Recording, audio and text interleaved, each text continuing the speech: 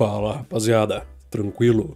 Vamos fazer uma sequenciazinha de vídeos aí partindo da criação da receita para abraçagem, para depois trazendo a cerveja pronta aí para ver se atendeu às expectativas, tá? Então eu vou hoje criar a receita que eu vou abraçar amanhã e depois eu também vou trazer o vídeo da abraçagem, trago também o vídeo da degustação da cerveja, tá? Então vamos começar, eu já tô com o Beer Smith aqui aberto, tá? É, aqui na aba de ingredientes, é, eu já tenho todos os meus ingredientes aqui cadastrados, né? Tudo que eu comprei recentemente está cadastrados. É, então aqui nós temos os lúpulos, nós temos aqui os fermentáveis, né? E leveduras eu vou deixar por enquanto para a gente decidir depois, tá bom? É, o que interessa para a gente aqui mesmo é, são os lúpulos e os fermentáveis. Primeira coisa que a gente tem que ter em mente é vai ser qual estilo de cerveja que a gente vai fazer, não é mesmo?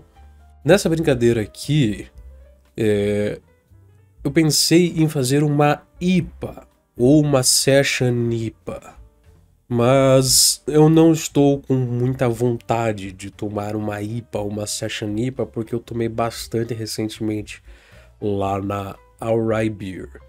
Então eu vou fazer uma APA, que é na mesma pegada, mas tem ali as suas diferenças, não é mesmo? E faz muito tempo que eu não faço e que eu não tomo uma APA. Então eu já tenho aqui, ó, 11 receitinhas de APA. Eu vou fazer mais uma, né? Vamos fazer mais uma aqui então. Receitinha de APA. 12. Depois eu dou um nome para esse negócio aqui. Bom, pessoal.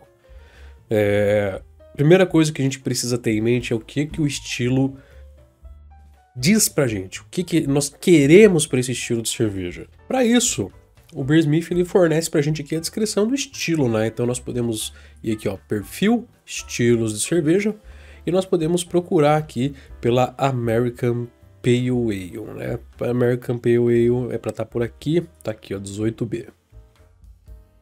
E aqui ele na lateral mostra a descrição da American Pale Ale. O que nós sabemos aqui já é que a gravidade, a densidade dela, ela vai de 1045 até 1060. Então nós vamos ter que mirar alguma coisa no meio disso aqui. A cor é entre 9.85 e 19.70. Mirar alguma coisa entre isso aí. A FG é 1010 e 1015 eu já faço comentários sobre isso, e BU entre 30 e 50, tá? Então eu já vou tecer alguns comentários a respeito disso aqui, é, que seriam interessantes de se lembrar. A densidade para uma APA, é, você chegando ali na casa perto dos 1050, fica bacana, tá? Ao redor dos, dos 1050, do 1.050, fica legal uma densidade original desse tipo para uma APA, porque não fica tão pesado é, e fica muito próximo do que é mais comum a gente encontrar no estilo. Consequentemente, com isso, nós vamos ter uma FG um pouco mais baixa também, o que vai aumentar o drinkability, que é um dos pontos essenciais para esse estilo de cerveja. Ele tem que ter um drinkability muito alto. Então, a FG ela tem que ser um pouco mais, mais voltada para baixo, não tão perto desse 1.015 aqui. E o IBU, na sequência, tem que acompanhar uma boa relação BUGU. Eu não vou estar tá mirando um IBU, um número de IBU específico, falando, ah, eu quero fazer com tantos IBU. Eu vou calcular com base numa relação, na relação BU-GU, qual seria um IBU legal para conseguir, daí nós decidimos a lupulagem dessa forma. Assim a cerveja tem mais chance de sair equilibrada, de sair gostosa, de não ter erro, beleza? E aí, se nós quisermos nos guiar um pouco mais, nós podemos ler aqui, ó, profile, ver o que, que ele tem a dizer a respeito aqui do, do estilo de cerveja, tá? Então o que a gente precisa saber é que vai ter um, um aroma de lúpulo de moderado a forte, e esses lúpulos são os, os lúpulos americanos, etc. Né? Blá blá blá de sempre que a gente já está cansado de saber, cítrico, floral, essas coisas assim, né? É, resinoso e tal. Enfim, é, frutado também, bem, bem, bem característico agora desses lúpulos mais novos e tal. Assim, é aquele blá blá blá que a gente já tá cansado de saber, né? Cansado de fazer, é, de saber, de, de fazer, de tomar, é enjoado de sentir esses aromas até Mas é claro que a gente sempre volta para tomar, né? Mas enfim. Com relação ao malte aí não tem segredo, tá? Ele tem que ser o suficiente para dar suporte para amargor. Não é para fazer uma cerveja maltada. Não é uma cerveja maltada. Ela é uma cerveja que tem quantidade de malte o suficiente para dar suporte para o amargor. Então nós vamos ali pensar basicamente em Pale Ale e alguns toques de malte caramelo para dar um suportezinho ali, dar uma diferenciada, mas a gente vai fazer ainda uma American. Prestem atenção no que eu vou falar. American Pale Ale. Não é uma American Amber Ale, nem uma American Brown Ale. É uma American Pale Ale. Pale, pálida, clara, beleza? Tamo de acordo? E, obviamente, também a gente não precisa ficar restrito aos maltes caramelos, tá? A gente pode usar ali maltes mais leves, né? Que não são caramelizados, para dar características, tipo de panificação, essas coisas do tipo assim, tá bom? Levedura, levedura americana ou inglesa neutra, ou que possa ter até um pouquinho de produção de ésteres, não tem problema. Então a gente já tem aí é, todos, todo, todo o, o, o que a gente precisa saber para se guiar, né? Agora o que, que a gente precisa saber? Se a gente tem é, ingredientes para isso, né? Que eu não vou comprar porra nenhuma. Eu vou fazer com o que eu tenho em casa. Malt Pale Ale eu tenho. Então tamo beleza. Tá tranquilo. Hum, vamos ver que nós temos aqui de maltezinho diferente que nós podemos dar uma, uma chuchada para dar uma, um gostinho, né? Cararel. Cararel é leve, legalzinho, bom. Podemos pensar no cararel, tá? Cararoma já é mais pegada, é mais forte. Eu não iria pelo cararoma. Eu ficaria no carahel, tá bom? Pode ser uma boa opção. O cara belge, ele é legal, tá? Mas eu ainda iria no carahel. É, agora, falando com vocês aqui, ó, um que eu nunca utilizei, que eu quero utilizar a primeira vez, é esse aqui, ó. Chateau Biscuit. Então, esse aqui vai ser um que eu vou querer utilizar, Chateau Biscuit eu vou querer utilizar nessa receita aqui, que eu acho que vai ficar bacana. Vocês querem ler aqui a descrição dele? Bora lá, ó. Características. O malte Chateau Biscuit possui um final tostado, olha só. Tostado, não é nada caramelizado, é tostado. Pronunciado na cerveja, transmite um aroma e sabor de pão quentinho e biscoitos, aquilo que a gente tinha comentado lá, ó, pegada de panificação. O malte Chateau Biscuit promove uma cor castanha de leve a médio a mistura. Pegada que a gente quer. A gente vai colocar pouco dele, porque vai dar pouca cor. Né? E porque a gente quer fazer uma American Pale Ale, né? Isso aí. Esse malte é usado para melhorar sabor e aroma torrado que caracteriza ales e lagers, proporcionando propriedades sutis dos maltes Chateau Black e Chateau Chocolate. Deve ser misturado com outros maltes que possuem poder diastásico excelente, pode pá que o nosso, o nosso Malte Pale Ale que nós temos aqui, que é o Pale Ale da Weiermann, é, tem um, um poder diastásico excelente. Então, fechou. Parte do malte nós temos. Levedura nós também temos, porque eu, eu recém fermentei uma cerveja com a Nottingham, levedura inglesa. Neutra. Dependendo da temperatura, né? Mas eu vou fazer uma temperatura que deixe neutra. E eu vou fermentar com ela mesmo. Eu poderia fermentar com tipo uma American Ale da vida, eu até tenho em casa lá, mas eu, é, eu queria salvar essa levedura no meu banco de leveduras. Não tô não tô querendo usar ela por momento. Vou esperar até eu estar tá com, com mais tempo e paciência para mexer com isso aí. Então eu vou usar ali por uma segunda vez uma Nottingham que eu tenho lá em casa. Bom, pessoal, é, aqui tá meu estoque de lúpulo. Eu não tenho esse Dragon, não. Não que eu me lembre. Não tô lembrado de ter mil, mil gramas, né? Tem um quilo de Dragon. Isso aqui foi algum erro, prometo, na hora de fazer o cadastro. Tá? Então vou desconsiderar isso aí. O que, que nós podemos pensar aqui de lupulagem para a gente estar tá utilizando na nossa APA? Equinox, né? Vulgo Equanot, é excelente, tem 250 gramas, é uma boa pedida para a gente estar tá colocando. lúpulo foda pra caralho. Inclusive, a melhor APA que eu já fiz na minha vida foi Single Equinox, cara, foi, ficou muito boa, tá? Columbus, cara, pegadona das antigas, tá? Das antigas, Columbus é pegadona das antigas. Mosaic. Citra. Amarilo. Chinook. Daria até para meter um ela aqui, não teria problema. Não é um lúpulo americano, mas é australiano, tem uma pegada legal, tá? Tem o Azaka, Summit, Sorashi, que é do Japão, mas cai bem também, fica legal. Motueka Nelson Salvan. Nossa, eu tenho lúpulo pra caralho, irmão. Nem sabia que tinha tanto lúpulo assim, mas beleza, né? Então, beleza. Lúpulo nós temos. Vamos ver se a gente consegue calcular depois o perfil de aroma que a gente vai obter isso aqui no site lá do Scott Janish, tá? Mas por momento vamos focar em montar essa receita aqui. Então o que, que nós vamos fazer? Vamos começar selecionando aqui qual o estilo iremos fazer. Vou ajustar a tela para ficar mais próximo aqui para vocês poderem enxergar. Beleza. Assim ficou legal. Então vamos lá. 18B, American Pale Ale. Fechou. Nós vamos começar definindo qual a densidade original dessa cerveja. Pale Ale Malt. Eu quero chegar nos 1.049. Eu poderia colocar o Malt Pale Ale e ajustar a densidade para bater 1.049, mas eu não gosto. Eu aprendi a mexer no Beersmith indo na, na tentativa e erro. Então, vai ser na tentativa e erro. Tá? 3.600? Não. 4.000? É. Mais ou menos, não é mesmo? Minha eficiência de 65% também não tá ajudando muito. Cadê o Chateau Biscuit aqui? Chateau Biscuit. Chateau Biscuit. Vou colocar meio quilo.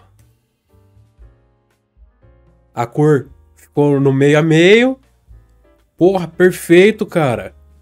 Só preciso subir um, um pentelho essa densidade. Então vamos colocar 4,300. Pronto.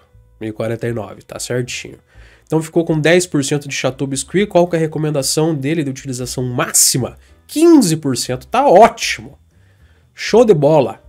Beleza, não vai dar uma pegada assim tão punk de malte, mas vai ter ali uma complexidade. E não vai ser aquela complexidade que eu odeio para cervejas americanas, que é muito comum de se encontrar, que é o que eles chamam de caramelipa, né? Que fazem IPA e APA com malte caramelo. Tô enjoado disso aí. Você vai falar, puta que pariu, Eric, você é chato pra caralho, hein? Sim, eu sou chato pra caralho, cara. É, eu comecei a tomar cerveja artesanal mais ou menos ali quando estourou esse negócio de cerveja artesanal. Então eu já tomei muita caramelipa na minha vida, cara. Então assim. Pô. Chega uma hora que cansa, né? Vamos fazer uma coisinha diferente. Então vou para uma pegada mais da tosta, que é difícil encontrar. Né? Apesar que agora algumas cervejarias estão fazendo nessa pegada aí, tá sendo sensacional. Nada contra. Se você gosta, irmão, vai firme, tá ligado? Mas eu não vou fazer. Tá? Então, beleza. Eu vou definir aqui meu perfil de mosturação. Eu vou fazer uma mosturação aqui para um corpo médio. Meu perfil de carbonatação é, eu sempre uso o mesmo, que é o keg. Meu perfil de maturação, ale, beleza. Ok, babá, tudo bonitinho. Vou, já vou colocar a levedura aqui, que vai ser a Nottingham da Laleman. Vamos colocar. Beleza. FG 1.012. Eu acho que a minha mosturação está muito alta. Eu vou fazer para um corpo leve. Aí também ficou muito baixo, né, meu irmão? Vamos fazer um meio termo aqui. 64. Não, 64 tá muito baixo. 66, cara. 66 aqui vai dar uns 1010. 1011, tá ótimo. Fechou. É isso aí. É o que nós precisamos. 1011. Beleza. Nossa base está aqui.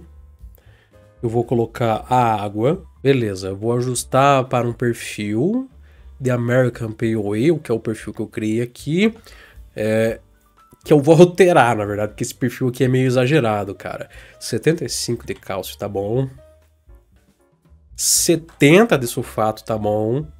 70 de cloreto tá bom. Sódio. Sódio tá bom. Dá pra deixar 15 de sódio aqui. Carbonato. Dá pra deixar 50. Né? Beleza. Final, vamos ficar com 70 ppm de cálcio, 13 de magnésio, 11 de sódio, sulfato 71, 72, cloreto 72, bicarbonato 52. Perfeito, tá ótimo desse jeito aqui para uma cerveja equilibrada de 8 a 17 BC, que é a pegada que a gente tá. Ok, tá bacana. O perfil da água também já tá ajustado. Vamos colocar nossos adjuntos aqui agora, né? Weirflock, nunca pode faltar. Weirflock, sulfato de zinco, também não pode faltar. Ascorbic acid. Nós vamos colocar aqui na em mais mostura. Nós vamos colocar aqui tudo organizadinho. Tá na hora da gente brincar com a nossa lupulagem. Então vamos, vamos socar lúpulo nesse negócio aqui. Vamos fazer uma puta breja foda. Então Vamos começar aqui pela ignorância, não é mesmo? Vamos começar com um lúpulo da hora, velho. Um lúpulo bom. Um lúpulo assim que, que seja diferente. Talos. Vamos começar com o lúpulo Talos. Esse aqui vai ser legal para colocar no finzinho. Então, cadê um aqui com um alfácido um pouco maior? O Equinox, 14.60 de alfácido. É esse mesmo, irmão. Esse mesmo, fervura. Vou colocar aqui, ó. First Word Tempo de fervura 60 minutos, quantidade 10. 15 gramas. Acionar sem fechar.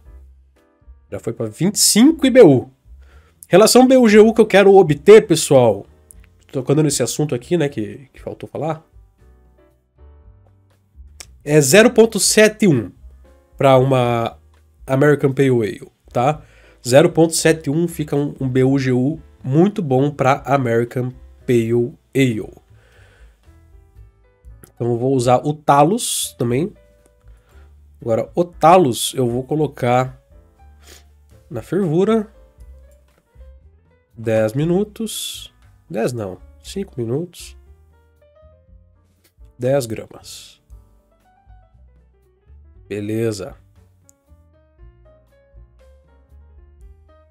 Eu acho que dá pra colocar na fervura 10 minutos também. 10 gramas. Ok. Agora, na infusão, eu vou colocar 30 gramas de talos, infusão a 90 graus Celsius. E vou colocar os 35 gramas de Equinox. Subiu demais o IBU. Demais. Não tem problema, pessoal. A gente já resolve isso aqui. A gente pega esse que está no First Word aqui, ó. E diminui para 5 gramas. Pronto. Daí eu tirei 10 gramas. Agora eu coloco 10 gramas aqui na infusão. Opa! 45, né, filhão? Beleza, 754. Dá pra nós abaixar um pouquinho mais é, esse BUGU, né? Dá pra baixar um pouquinho mais, assim. Que vai ser fazendo o seguinte. Eu vou colocar isso aqui a 7 minutos, não, não, não fez tanta diferença assim. Então eu vou deixar 10 minutos, 5 gramas, beleza. Se eu colocar aqui 15 gramas, será que sobe demais? 748. Sobe demais. Então deixa 10 gramas aqui e meto esses 5 gramas aqui. Beleza, 720, tá ok, ok. Então a lupulagem ficou da seguinte forma, rapaziada. No first word, eu vou colocar 5 gramas de Equinox Para começar com o amargor lá de trás, o amargor lá de 60 minutos, né, desde o first word, beleza? Aí depois disso, eu vou colocar 5 gramas de talos, 10 minutos de fervura. 10 gramas de talos, 5 minutos de fervura. Aí, quando terminar a fervura, eu for fazer o Whirlpool, eu vou jogar 35 gramas de talos e 45 gramas de Equinox. para dar um puta aroma assim, ó, da hora. Daí você vai me falar, porra, Eric, você não vai fazer dry hopping? Não, não vou. Não vou, porque eu, Eric, chato pra caralho do jeito que eu sou, parto da opinião de que dry hopping é para IPA tá? É, APA não existe necessidade de se fazer um dry hop. Essa é a minha opinião, tá? Se você curte fazer dry hop na tua APA, irmão, vai e faz. Eu já fiz, tá? Eu já fiz, mas eu prefiro não fazer. Porque eu acho que deve ficar com muita característica de IPA. E se for para fazer ficar com característica de IPA, eu tomo uma IPA, eu faço uma IPA, né? Não faço uma APA chamo de APA fazendo coisa de IPA. Aqui é bem claro de se dizer, ó, que o dry hopping ele não é é, algo tão inerente ao estilo assim, ó. Dry hopping, ser feito, tá? Ser feito, caso seja feito. Então, assim, não é algo necessário para o estilo. E eu prefiro manter sem essa necessidade de se fazer um dry hopping numa APA, beleza? Mas isso é uma Opinião minha, tá, pessoal? Cada um tem a sua opinião aí. Se você discorda, sinta-se livre para comentar aqui embaixo, tá? Mas essa é a minha opinião. Tô dando um zoom aqui, pessoal, para mostrar para vocês. Então a receita vai ter a densidade original de 1.049, amargor de 35 EBU, delicinha, cor de 14,5 IBC, bem clarinha, vai ficar uma cor assim, um, um dourado bonito. Sabe? Douradão, assim, bonitão. É, é assim que tem que ser, cara. Bonito, bonito. Tá? ABV de 5.1, suave pra caramba. E é isso aí. FG é para ser 1011, né? 1.011. E relação BUGU de 0.72, tá? Isso vai ser uma cerveja bem equilibrada. Junto com esse ajuste de água que eu fiz aqui, vai dar uma ressaltada nas características da cerveja, vai deixar o lúpulo brilhar um pouco mais, bem como também o malte aparecer, mas sem que um se sobressaia ao outro. Vai ficar com mais características de lúpulo, justamente porque nós vamos fazer uma lupulagem mais forte. Mas é isso aí, tá? Então, fechou, pessoal. A nossa receita está montada. Então, vamos ver se aparece aqui talos, se tem o talos. Não tem talos, infelizmente não tem. Não tenho como, como calcular tudo bonitinho aqui, porque não tem a opção do talos. Né? Só vou colocar aqui 45 de, de... Bom, pelo Equinox vai dar cítrico, tropical, floral e herbal. É para trazer limão, papaya, maçã e green pepper. Não sei o que é green pepper. Pimenta verde, talvez. É, pena que não tem o talos aqui. Seria interessante se tivesse o talos aqui pra gente poder... Poder ver como é que ficaria. Mas bacana. Nós temos uma ideia de como vai ser. Bom, pessoal, é isso aí. Eu espero que vocês tenham gostado de montar esta receita aqui comigo. É... Vocês podem ver que é um processo de vai e vem. A gente vai no estilo de cerveja, a gente lê sobre o estilo, o que, que o estilo pede, né, quais são as características necessárias para o estilo, e a gente vai buscar ingredientes que se adequem para esse estilo. Vocês podem ver que hoje eu vou estar, tá, é, nessa receita aqui, eu vou estar tá utilizando um malte que eu nunca utilizei, né, que vou utilizar a primeira vez, mas com base na descrição dele eu consegui saber que ele se encaixa por estilo, porque eu pretendo para esse, se encaixa no estilo e porque eu pretendo nessa cerveja né, que também a gente tem que levar isso em consideração. A gente também conseguiu selecionar os lúpulos, a gente conseguiu ter uma ideia do como os lúpulos vão se comportar dentro da cerveja. É, Para quem ainda não pegou essa noção, é, a gente vai poder dizer assim, ó, que o aroma vai ser muito voltado para o cítrico, tá? Para o cítrico e para as frutas. Porque olha só, se a gente pegar o Equinox aqui, o Equinox, ele vai dizer que o aroma é, olha só, cítrico, é, pine, que seria né, de pinho, e tropical. Ou seja, tropical a gente pode pegar aí diversas coisas que possam pode ser tropical. Já do Talos diz que tem toranja, cascade, frutas cítricas, rosas secas, resina de pinheiro, frutas tropicais e sálvia. É a mesma pegada.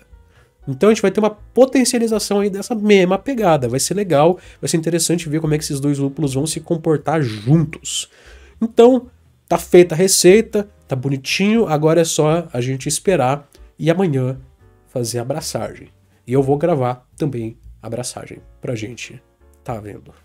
Pra gente ter conteúdo aqui no canal, beleza? Então é isso, pessoal. Vejo vocês aí no próximo vídeo, espero que vocês tenham gostado. Lembre-se, pessoal, sempre bebam com responsabilidade, nunca exagerem, nunca dirijam depois de beber, etc, etc, etc. Fiquem todos bem, fiquem todos com Deus e até mais.